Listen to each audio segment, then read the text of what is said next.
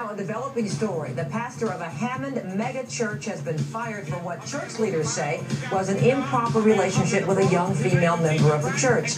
Jack Schaap has been pastor of First Baptist Church more than a decade, since 2001. First Baptist is one of the largest churches in America with more than 15,000 members. The church says adultery is a cause for dismissal, but Lake County Sheriff's Police are also investigating. We have a live report for you in just a few minutes. A sex scandal has cost the pastor of a mega church in Indiana his pulpit.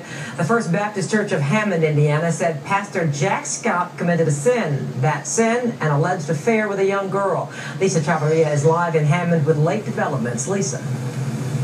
Well, this is causing shockwaves around this neighborhood, Robin. Pastor Jack Schaap is no longer the head of the First Baptist Church here in Hammond, Indiana, and that is because of this alleged relationship with a young woman. Now, according to uh, some officials we've been talking to, authorities at this point are determining whether or not that young woman was 18 years old at the time of the affair. Pastor Jack Schaap is no longer the head of the First Baptist Church of Hammond. According to a statement from the megachurch, Pastor Schaap was dismissed due to a sin that has caused him to forfeit his right to be the church's pastor. A church spokesperson says Schaap is under scrutiny for an alleged inappropriate relationship with a young woman.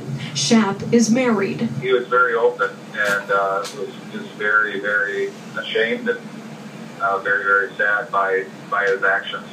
Fox Chicago News has learned information about the affair was sent to the Lake County Sheriff's Department to determine if the girl was 18 at the time of the relationship.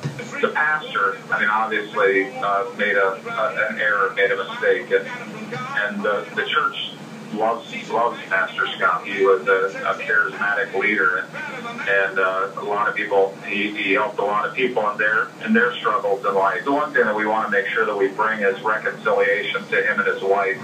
Pastor Schaap has gained publicity in the past. In this online video, he speaks about his encounter with a reporter when asked about marriage. We heard that you um, believe that men should be in charge of their wives. I said, no, sir. No, sir, I didn't say that. I said, God said that. He said, husbands are the head of the wife. I said, if you got a problem with what I said, I'm quoting the Bible. Maybe I'll take it up with God.